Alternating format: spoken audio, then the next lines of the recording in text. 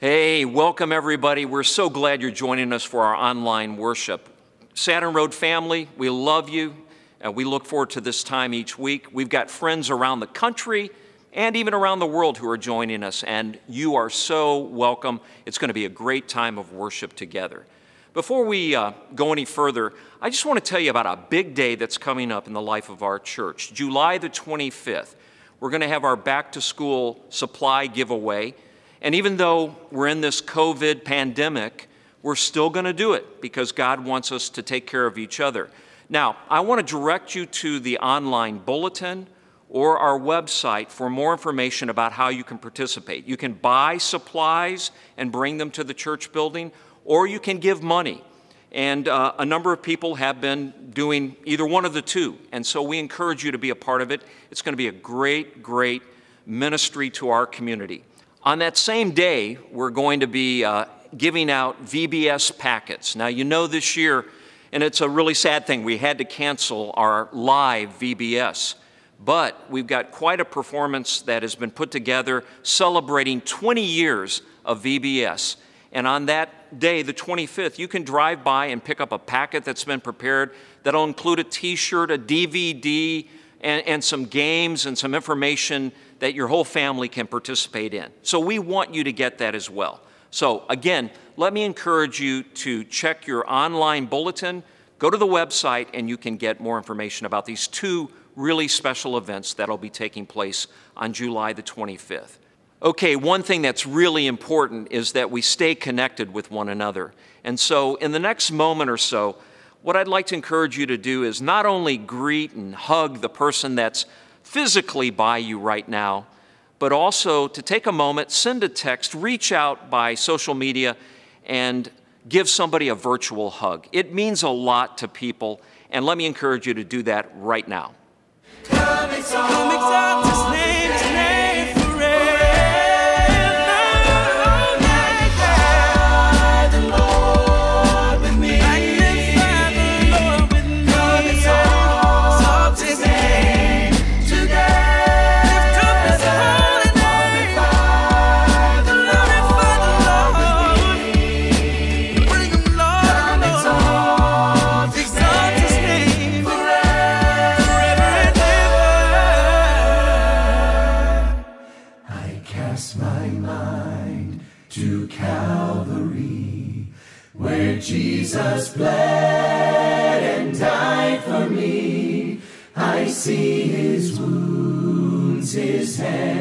Feet. My Savior on that cursed tree. His body bound and drenched in tears. They laid him down in Joseph's tomb the entrance sealed by heavy stone, Messiah still and all alone. Oh, praise the name of the Lord our God. Oh, praise his name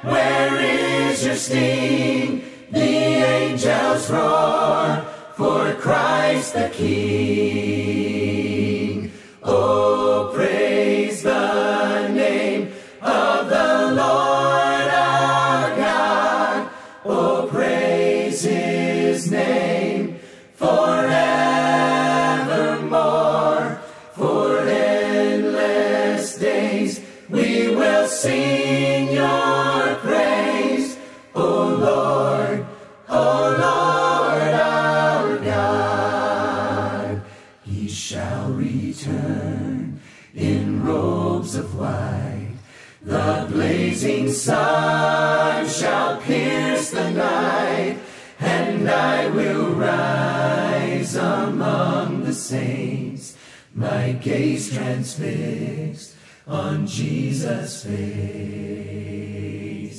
Oh, praise the name of the Lord our God. Oh, praise his name forevermore. For endless days we will sing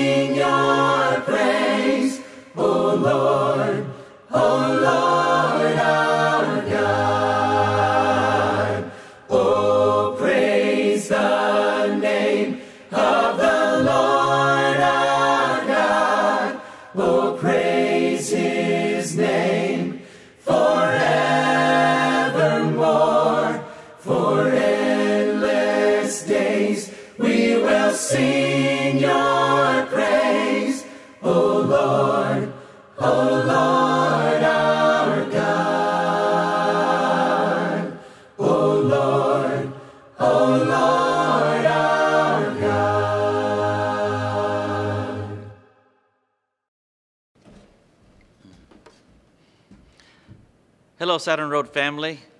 What do you think about when you hear the word cure? I think about something that you take to get well. Cure is defined as a means of healing or restoring to health, like a remedy.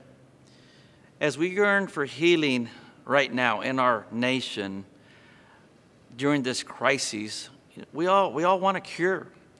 Today, I'm going to share with you the acrostic for cure. So when you think of this word, think about these things. The C stands for Christ. In Matthew chapter 20, there's a story of two blind men. They're on the roadside and they hear Jesus approaching them and they cry out to him, Have mercy on us! Have mercy on us. The, uh, the, crowd, the crowd rebukes these blind men, but they keep crying out, Have mercy on us. And Jesus asked them a, a key question What do you want me to do for you? So they want their sight back. That's what they want. They want to be cured of their sight. So Jesus, He has compassion for them, just like He has compassion for us. He touches their eyes and He heals them, and immediately their vision is restored. The C stands for Christ. The U stands for unity. It doesn't take uh, very long to turn on the TV and see that our world is in complete chaos. Doctors, our leaders, they're fighting over whether or not uh, they, there is a cure. They're, they're, they're discussing about whether or not we should go back to school and when we should go back to school. People are marching down the road and protesting about something, about the injustices in our world. There's even name changes going on for our, our, our teams in sports. So we can see that the, the unity, there is none right now. What does the Bible say about unity? In John chapter 17, verse 21, Jesus says, May they all be one, just like you, Father, and me uh, are one, right? And the Spirit, may they also be one in us, so that the world may believe that you sent me. When there is no unity, perhaps we muddy up the waters. We muddy up the gospel message. We muddy up the message of salvation when there is no unity. The R stands for recovery. The Bible has so many stories of recovery. And we also read that there's, recovery isn't possible without prayer. There's a story in 2 Kings chapter 20 about King Hezekiah. He's told by the prophet Isaiah, You're going to die. You need to get your house in order. So, King Hezekiah, what does he do? He cries bitterly and he prays to God. And immediately, God, he tells, he tells the prophet, Hey, go back and tell Hezekiah the message has changed. Tell him that he's going to, I'm going to extend his life by 15 years. God heard his prayer. He, he, he, heard, he, he saw his tears, and as a result, Hezekiah was recovered. And uh, he also delivered him from the Assyrians as well he and his people. And finally, the E stands for eternal. Perhaps everything that's going on around us right now is, is, is a reminder that this world is a temporary place that we live in. Uh, and, and because it is temporary, we see things like pain, we see death all around us because of this virus. Um, we, we see injustices. All of these are a reminder that we're in a temporary place. I like this version of the message in John 14, verse 2. It says, There is plenty of room for you in my Father's home. If it weren't so, would I have told you that I'm going back to prepare a room for you, to get it ready?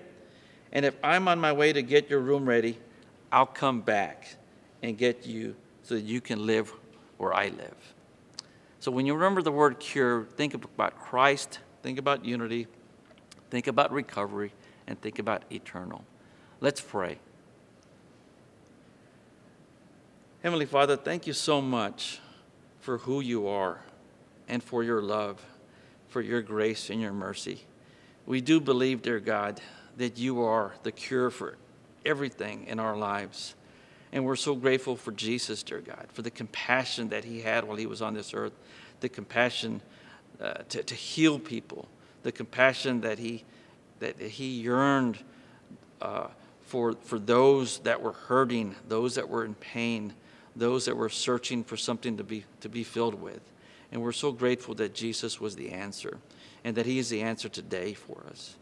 Dear God, we do pray for, for, for healing of our nation. We pray for unity in our land. And, and we, we all want to, to see things improve. And dear God, we know that recovery is going to be possible, but we have to pray just, just like Hezekiah prayed, dear God. We have to learn, we have to yearn, and sometimes we have to cry, dear God, but you listen and you hear our prayers. And we ask you at this time, dear God, that you provide solutions, that you help us, dear God, to be unified in the truth. And most of all, dear God, that we can walk a path, dear God, that people will be able to see that despite everything that's going on around us, dear God, that we believe that you have prepared a place for us. And we, and we want to be there one day with you. And it's in Jesus' name that we pray. Amen. Let us adore, Let us adore the ever living God God, and render praise, and render praise unto Him unto Him who set out the heavens, out the heavens and established the earth, and established the earth, and whose glory and whose glory is manifest throughout all the earth. He is our God.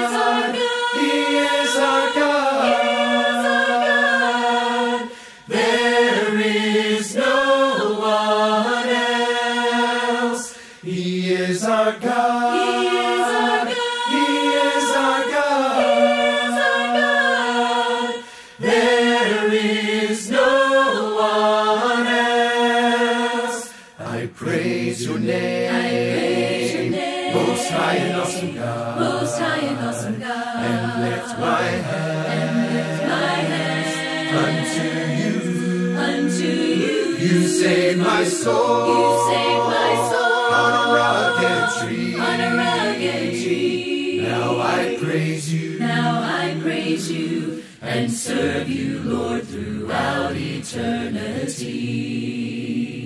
He is our God. He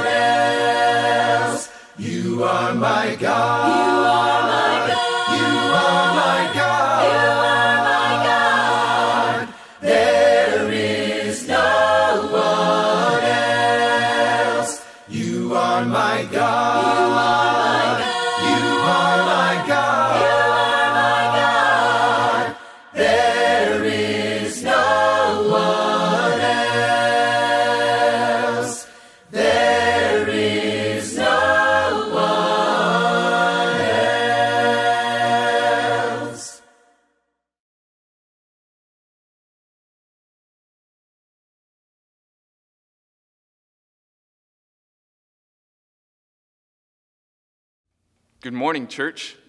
It is good to be with you today, and we are now entering a time of communion. Communion serves many things for us. It's one of the most impactful, important times as a church gathering. And some of the things that we think on and reflect on are things like this that Jesus' sacrifice is for everyone. We remember and we reflect that Jesus rose from the grave and de- defeated death in his resurrection. We reflect on that Jesus is with us today through his Holy Spirit. But more than anything, it's a reminder for us that Jesus is King, he is Lord over all, and the Lord reigns. In a time where no institution really knows what to do with COVID, the Lord reigns. In a time where we look out and we see that there's a group of people that have been mistreated repeatedly, and we don't really know what to do going forward, we need to remember that the Lord reigns. Whenever there are individuals that are lost and they don't know what to do, they don't know how to get their life back towards God, we need to remember that the Lord reigns. For family situations, for any group of people where things start to fall apart, we know that Jesus reigns, that the Lord reigns. I'm not saying all this to diminish our concern or the hardships that we're going through, but I say all this to say that the King, that the Lord over all things, He loves you and He is working towards us being close with Him. And that's more important than anything else that's going on. So, I'm going to read from Psalm 97, and it's talking about how just important it is that the Lord reigns. Psalm 97 The Lord reigns. Let the earth be glad. Let the distant shores rejoice.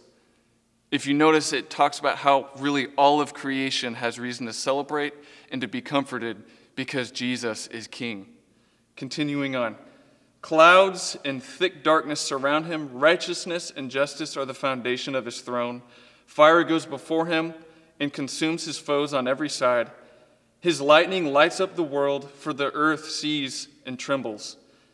The mountains melt like wax before the Lord, before the Lord of all the earth. The heavens proclaim his righteousness, and all people see his glory. We know that nothing can hold back Jesus.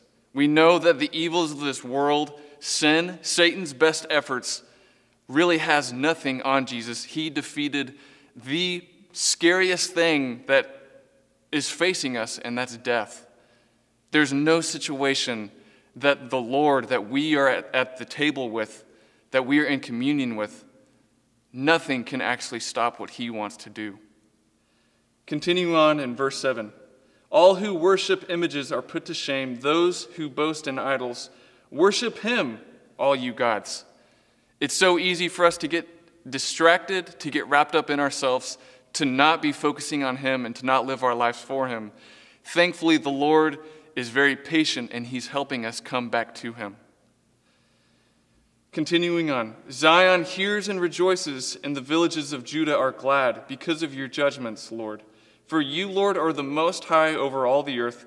You are exalted far above all gods. When you actually slow down to consider who Jesus is and what he's done for us and what he's doing for us right now, you can't help but be awestruck and to be amazed by how good he really is. It talks here about how Zion rejoices and the villages of Judah are glad. Anyone who knows Jesus, and even whenever you just experience him just a tiny bit, you walk away awestruck and you want to worship him because the Lord reigns and he deserves our praise. Let those who love the Lord hate evil, for he guards the lives of his faithful ones and delivers them from the hand of the wicked. Light shines on the righteous and joy on the upright in heart. I think one of the most important parts of communion is also remembering that as Jesus loves you and me as individuals, that He's forgiven us for all of our sins, He's also done the same for our brothers and sisters. So as we recognize that He is Lord and that He reigns over all things, one thing that we need to keep in mind and to do is that we need to also love each other the way that He loves us. So that means forgiving one another, appreciating one another and recognizing that everyone brings worth and can bring praise to Jesus, who is our King. This Psalm 97 ends by saying, Rejoice in the Lord, you who are righteous, and praise his holy name. We are not worthy of his love. We are not worthy of being at the table with him. We are not worthy of being in relationship with Jesus. But he is so good. He forgave us all the, nonetheless. He went to the cross for all of us. And that is something that we should be reflecting on his love and that he is over all things and that we are all in him. Let's pray. God, thank you for today. Thank you for who you are. And thank you for loving us the way that you do. As we take this bread, I pray that we remember just what he did for those who are in him, the body of Christ. I pray that we honor you by how we love each other and that we help one another and that we pray for one another to realize what life is all about, and that's Jesus. Thank you again. It's in your son's name we pray. Amen.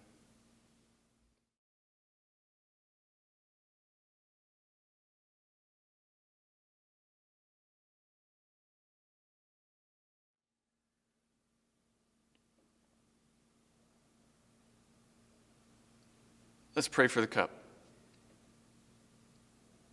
God, thank you for today.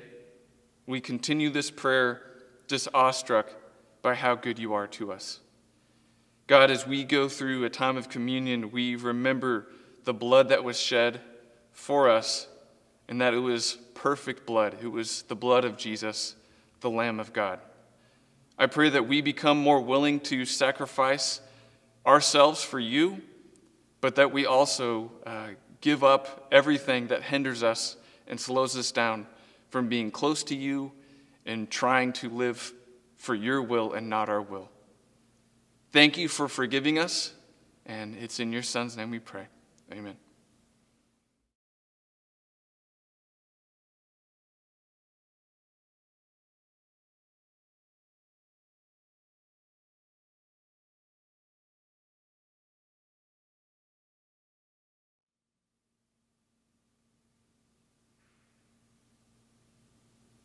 Have a blessed morning.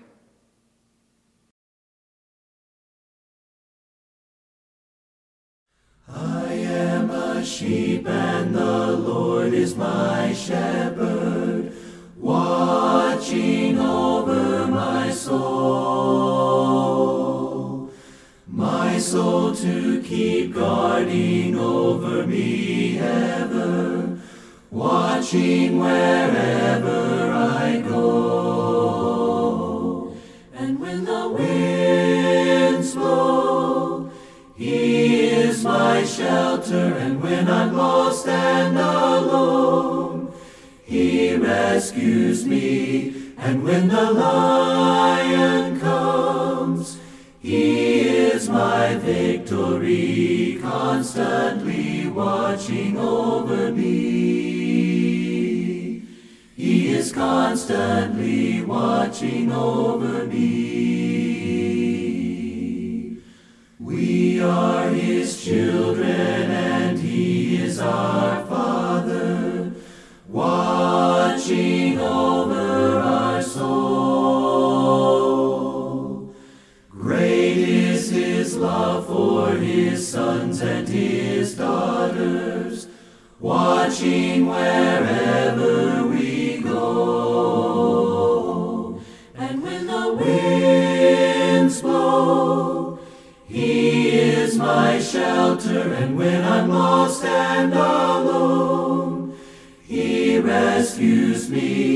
And when the lion comes, He is my victory, constantly watching over me. He is constantly watching over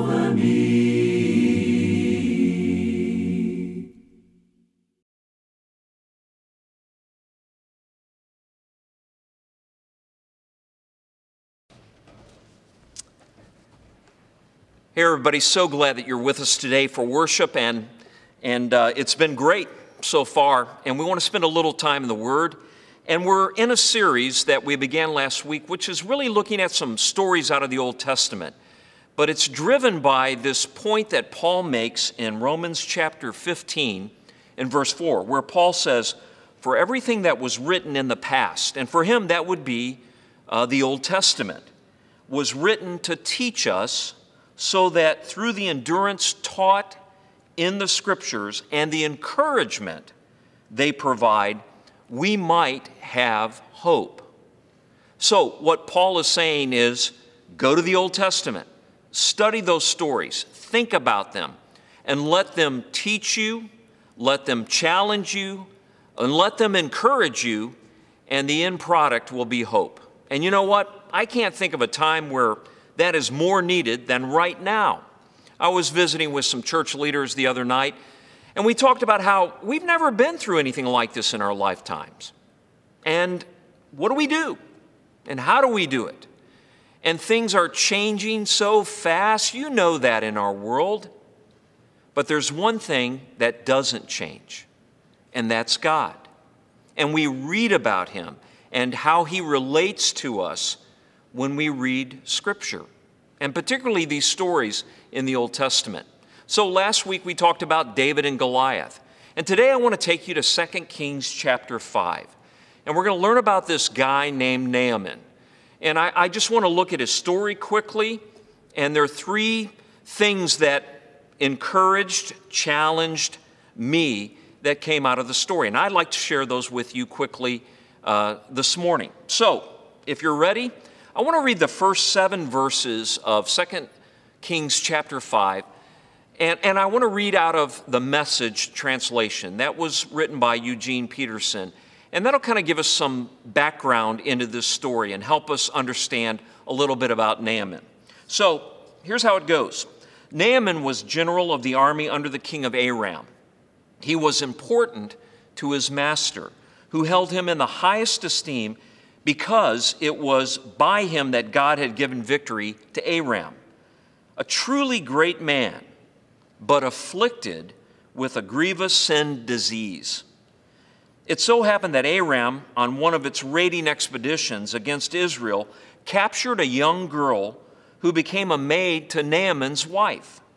One day, she said to her mistress, Oh, if only my master could meet the prophet of Samaria he would be healed of his skin disease. Well, Naaman went straight to his master and reported what the girl from Israel had said. Well, then go, said the king of Aram, and I'll send a letter of introduction to the king of Israel. So off he went, taking with him 750 pounds of silver, 150 pounds of gold, and 10 sets of clothes. Naaman delivered the letter to the king of Israel. The letter read When you get this letter, you'll know that I have personally sent my servant Naaman to you. Heal him of his skin disease. When the king of Israel read the letter, he was terribly upset, ripping his robe to pieces. He said, Am I a God with the power to bring death or life that I get orders to heal this man from his disease? What's going on here? That king's trying to pick a fight. That's what. So, there's a little background into the story of Naaman. It's interesting, isn't it? What's going to happen? We'll read that in just a moment. But, but just to kind of summarize, Naaman is a five star general. That's kind of the way we would view him. He is a powerful man, and he is well liked, even loved by his king in Aram. And, and so everything is really great for Naaman, except he has this skin disease. And most translations will tell you it's leprosy. And that's really, in some ways, a death sentence. And during that time, there wasn't anything you could do. Uh, it was just a terrible, terrible disease to have. And so we find out about this young girl that was kidnapped on a raid to Israel, and she's serving Naaman's wife, and she, to her credit, speaks up and says, Look, I know somebody in my homeland, Israel, that could take care of this problem. He's a prophet. And if you'll go to him, he can help. And so that's exactly what Naaman does. And the king sends this letter to the king of Israel, and, and has all these gifts. Uh, I mean, it's unbelievable how much stuff he brought with him as gifts to the king. But when the king hears this, because the letter basically says, Heal him, heal my servant Naaman. The king says, Well, I, I can't do that. I'm not God. I, I can't give life or take life like, like, like that. And he really believes that there's an ulterior motive here, and that is he wants to create a war. He wants a reason to go to war with me. So he is distressed. And then we pick the story up, beginning at verse 8. So I want to read out of my Bible beginning at verse 8, and maybe you've got yours open as well. When Elisha, the man of God, heard that the king of Israel had torn his robes, he sent him this message Why have you torn your robes? Have the man come to me, and he will know that there is a prophet in Israel. So Naaman went with his horses and chariots and stopped at the door of Elisha's house. Now, watch this. Elisha sent a messenger to say to him, Go, wash yourself seven times in the Jordan, and your flesh will be restored, and you will be cleansed. But Naaman went away angry and said, I thought that he would surely come out to me and stand and call on the name of the Lord his God, wave his hand over the spot, and cure me of my leprosy. Are not Abana and Pharpar, the rivers of Damascus, better than all the waters of Israel? Couldn't I wash in them and be cleansed? So he turned and went off in a rage. Naaman's servants went to him and said, My father, if the prophet had told you to do some great thing, would you not have done it? How much more then when he tells you, Wash and be cleansed.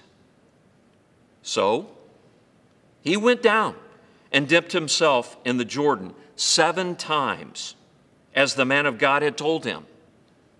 And his flesh was restored and became clean like that of a young boy. Then Naaman and all his attendants went back to the man of God. He stood before him and he said, Now I know that there is no God in all the world except in Israel. And so that's the story.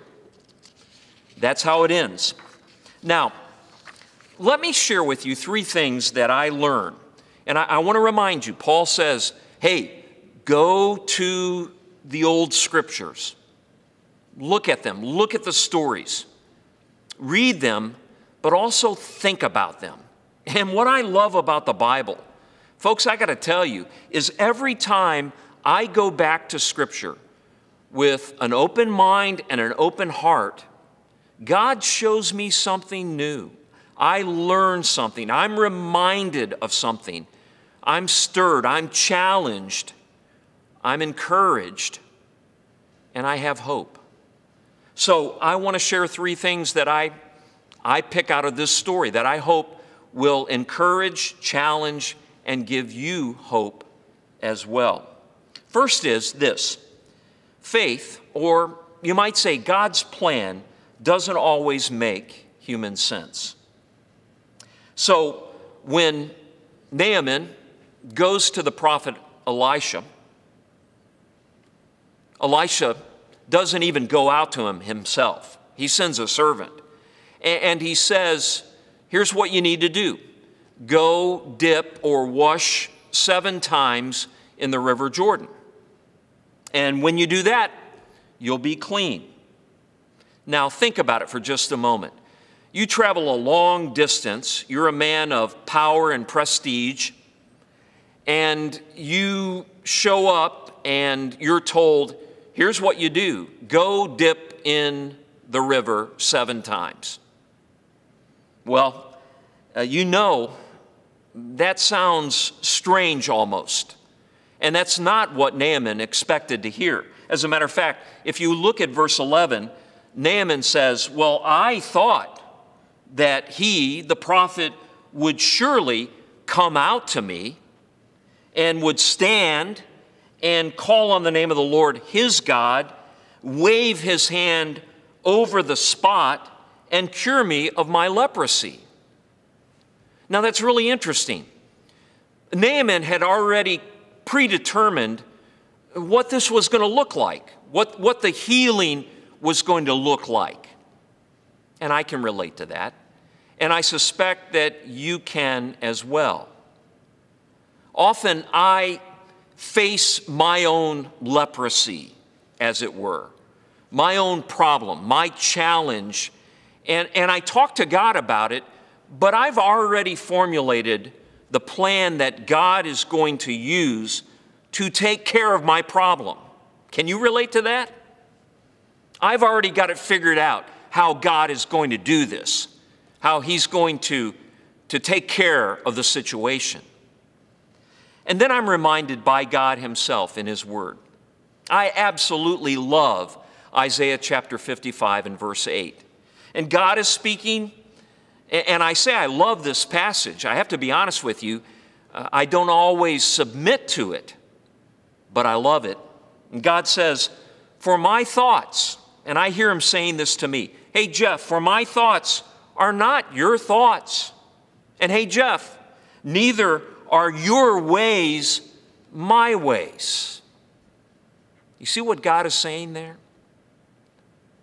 You may think, you and I, we see things the same way, that we think the same way, that our plan of action is always the same.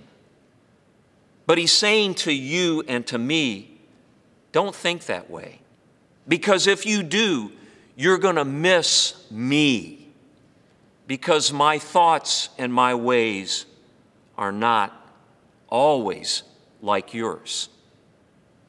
And there's one big reason He's God, and I'm not, and neither are you. And so His thoughts and His ways are so much higher. And the truth is, so much better than ours. I, I believe that sometimes we think our way out of faith and consequently out of God's blessings. Let me say that again. I, I believe that sometimes we think our way out of faith. Well, I thought we're like Naaman. Here's how it was going to happen. This is how I constructed it in my mind.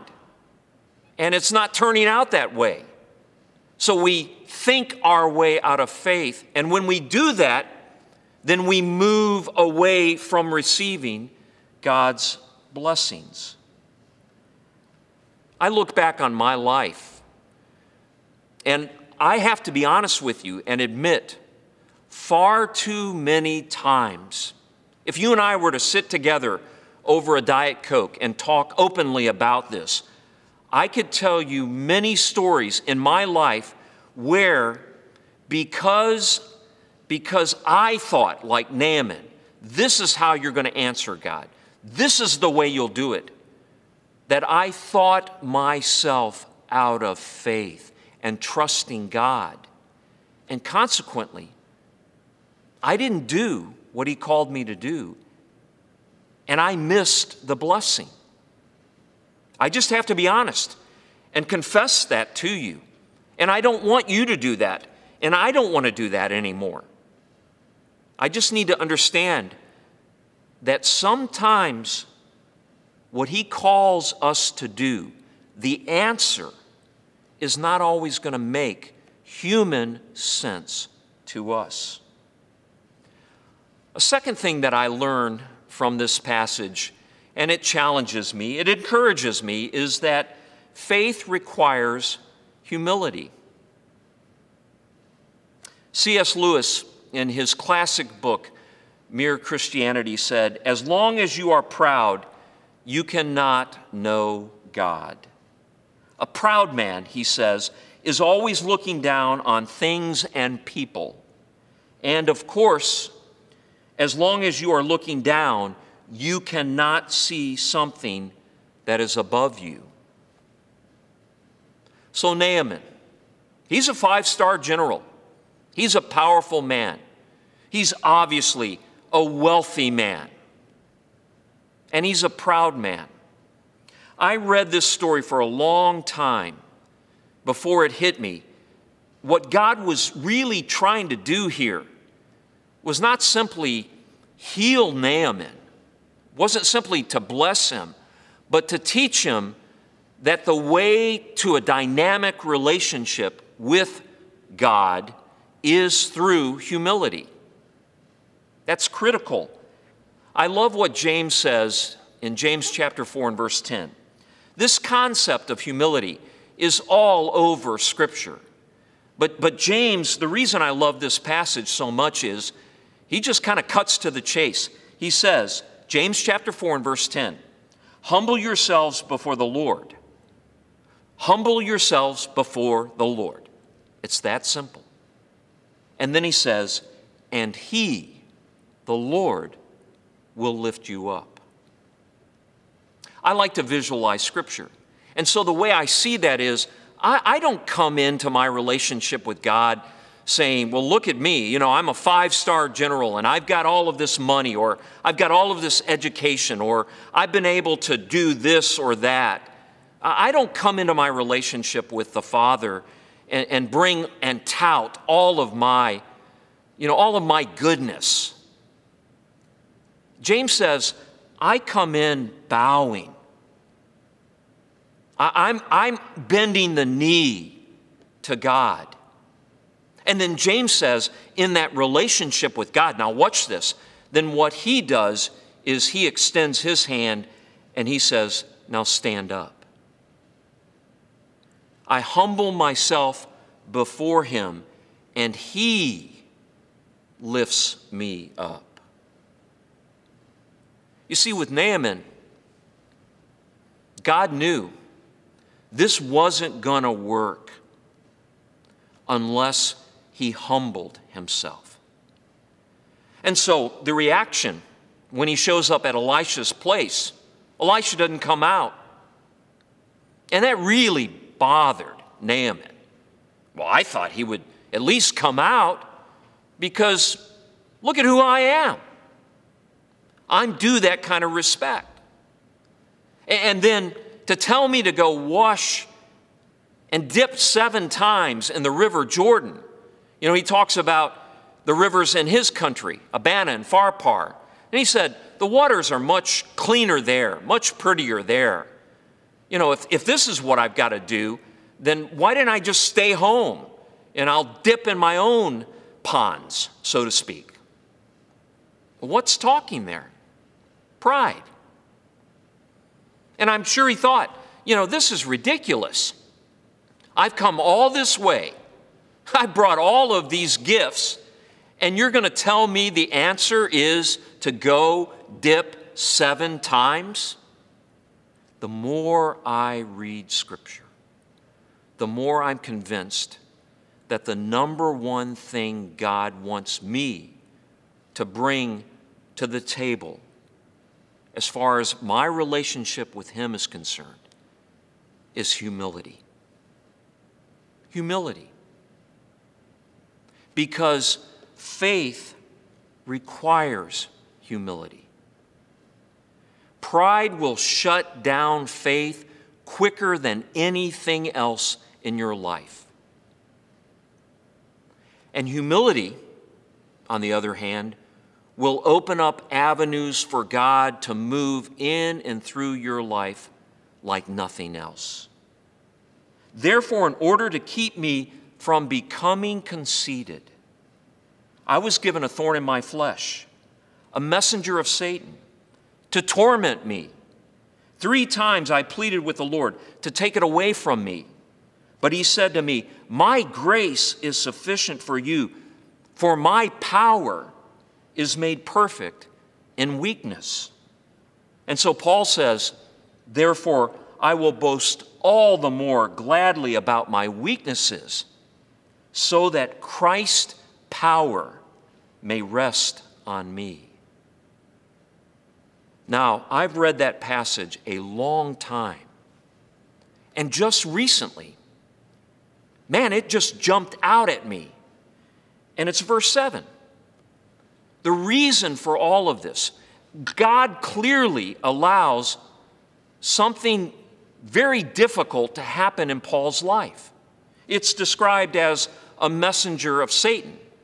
God allows this to happen. And so there has to be a purpose for it. And I guess I had just read past this for years. But in verse 7, Paul says, The reason all of this is happening is so that I do not become conceited. Well, what's he saying? So that I don't become proud, arrogant. Or another way to put it is, God is doing all of this so that I will stay humble.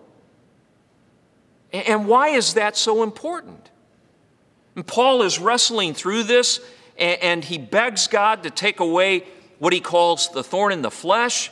And God says, I'm not going to do that because my grace is sufficient for you.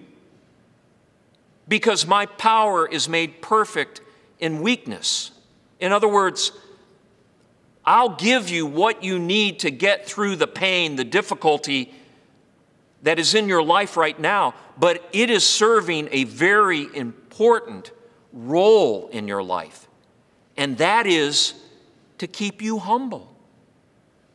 And you see, that principle, that idea is true in our lives as well.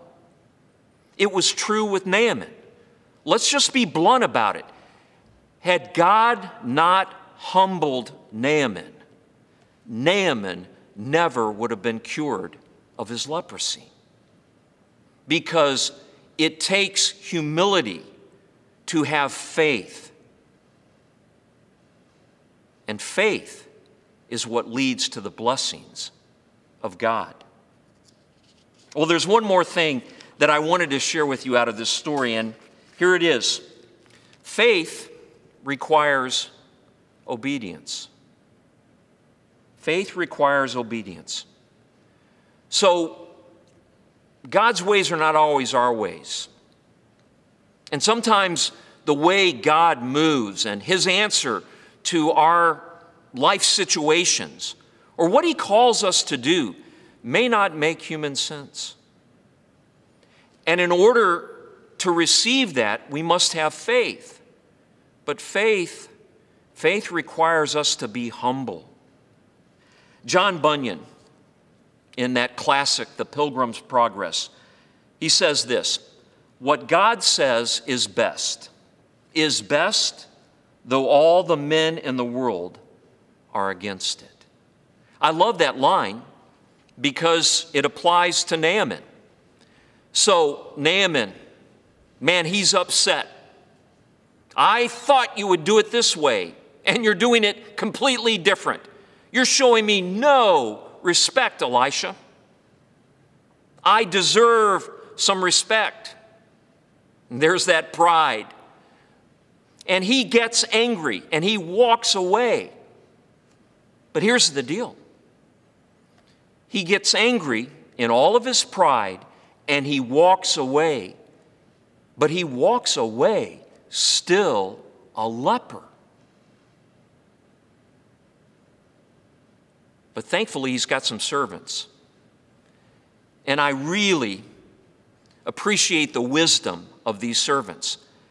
And they come to Naaman and they say, Sir, hey, listen, if the prophet had asked you to do some great thing, you know, just some really stupendous thing, you would have done it, right?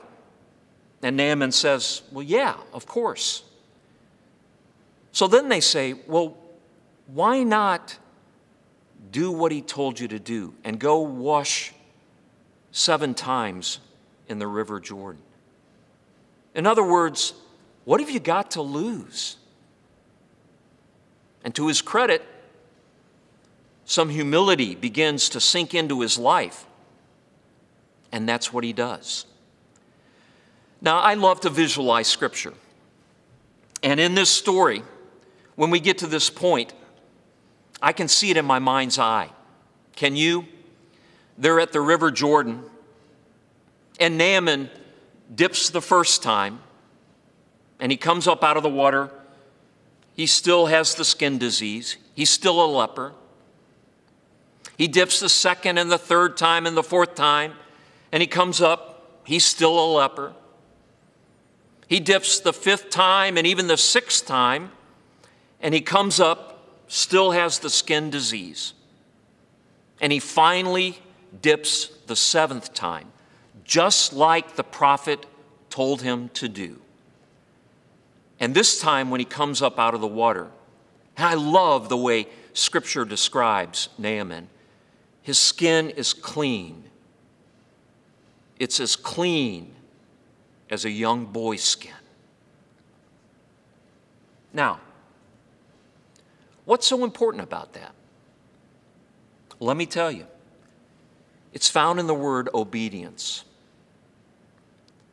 Faith requires obedience. Faith actually leads you to obey.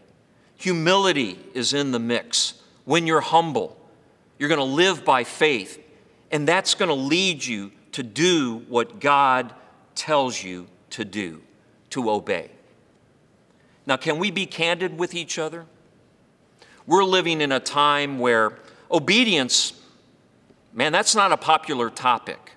Maybe it never has been.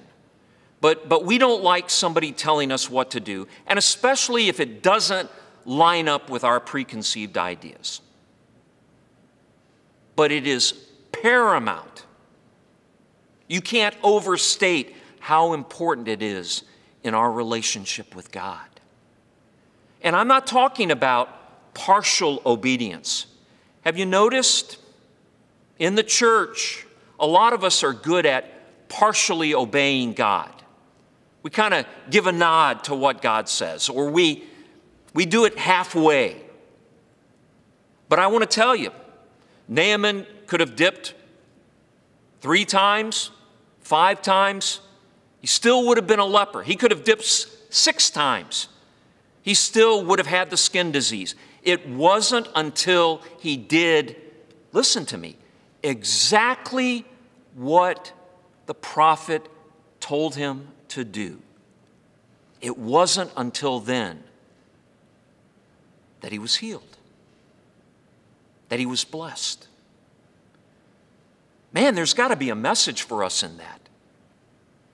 We're going to be blessed by God when we are obedient, by faith, by trust, by humble lives, doing exactly what God tells us to do. But you see, the Bible is telling us, and I go back to Paul's statement in Romans 15 to challenge us, to encourage us, to teach us, to give us hope. The Bible is saying, obey God all the way, and good things will happen. So, as we close, can I challenge you? And maybe I can do it by asking you Are you obeying God? Are you fully obeying God? Are you honestly walking humbly by faith? Our Father in heaven, we thank you for your word. We thank you for this story of Naaman. And we love how you worked in his life and you brought humility to him. And by faith, obedient faith, you blessed his life. We're thankful for Paul and his understanding of how important it is to be humble. And even that you allowed some painful things in his life to keep him humble so that you could keep blessing him. And I pray we will learn and that we will embrace those lessons in our lives. I pray for everyone that's listening to this message. Please, God, help all of us to fully obey you. And I pray in Jesus' name, amen.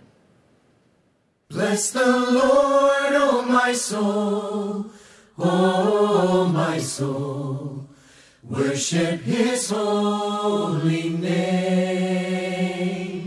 Sing like never before, oh my soul. I'll worship your holy name.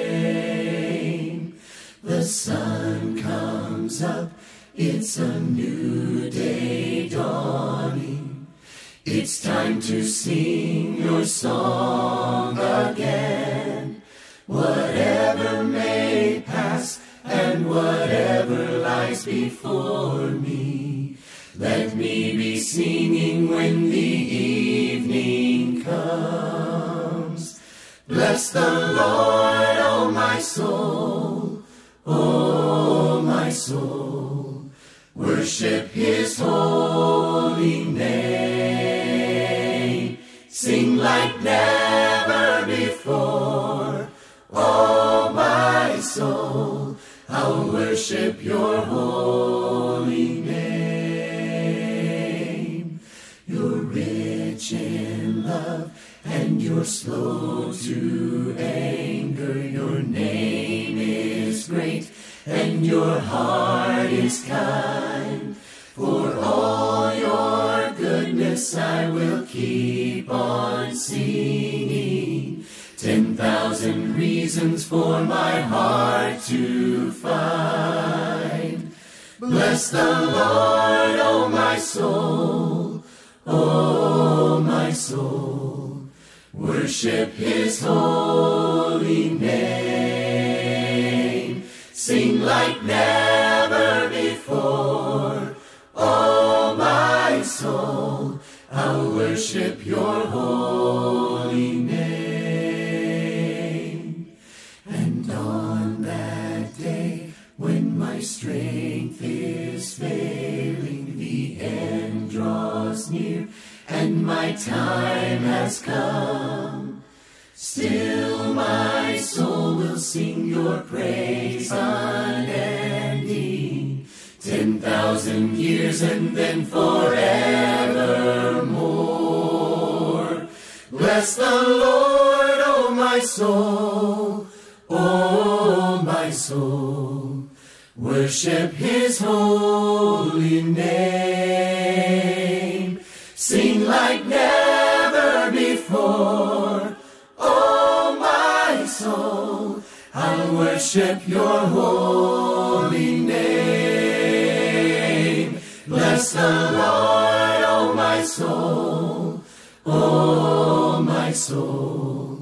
Worship his holy name. Sing like never before. Oh, my soul, I'll worship your holy name. I'll worship your holy name. I'll worship